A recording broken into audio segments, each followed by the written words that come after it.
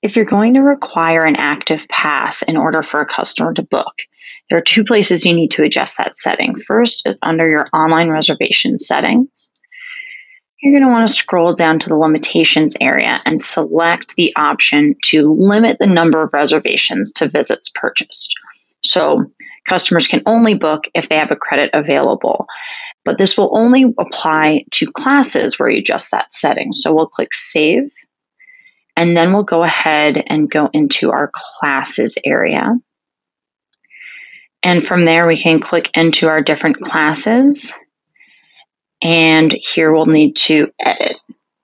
So for this class, uh, what we'll need to do is turn on under the reservation settings, we'll be turning on require an active pass to book. So customers will be forced to log in and have an active credit available in order to book into this class.